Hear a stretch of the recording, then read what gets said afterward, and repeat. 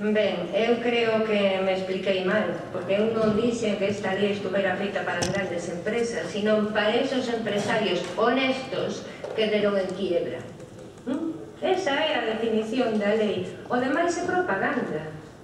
É propaganda, o das mulleres, mocedade e economía social, evidentemente, aparece reflexado na redacción pero nada máis non se desenrola como ni en que medidas, igual que tampouco aparece nada sobre que sectores estratégicos nin como se quere dirixir. Polo tanto, é unha lei valeira que se adica fundamentalmente a justificar o noso entender, o entender a alternativa galega de esquerda, como podemos dar diñeiro a estos empresarios que quiebran e que son amigos do Partido Popular, punto.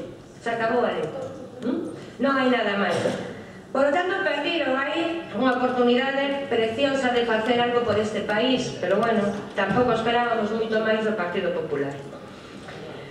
Eh, di, por exemplo, estuve así mirando outras, por exemplo, en Euskadi, a lei de emprendemento de Euskadi, e evidentemente, pois aún lle entran así dúbidas de cal é o objetivo aquí e ali, porque son distintos, non?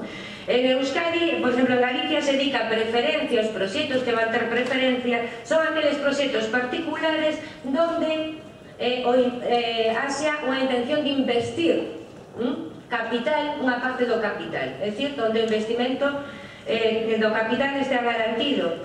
Non di nada ao noso entender, a preferencia deberían de ser todos aqueles proxectos de interese social, de interese económico, de interese estratégico para o país, de interese territorial, porque fomentan a industria en zonas pues, despoboadas e sin industria, de interese de xénero, de interese para sentar a mocedade nunha economía en Galicia, interese na creación de emprego, que teña interese pola innovación, non. A prioridade, donde alguén vai a meter dinheiro nos da igual. Entonces, bueno, pues ya a partir de aí, así prosigue toda a lei, non? Fala tamén de que o que se lle pida ás empresas para ter este apoio que teñan o domicilio social e fiscal en Galiza. Fíxense, por exemplo, en Euskadi, din que teñen que ser empresas que manteñan e desarrollen o compromiso de vinculación co territorio e o compromiso de mantemento da actividade no tempo. Aquí non aparece. En canto aos objetivos en educación, di o anteproxecto de lei en Galiza, recortar materias de dinámica emprendedora, estímulo do talento emprendedor, valores de iniciativa personal, creatividade e esforzo. Di eh, a lei vasca di fomentar a responsabilidade social, a ética empresarial, a vinculación co territorio, a corresponsabilidade, os valores de economía social e a economía solidaria. Nada desto aparece na lei galega.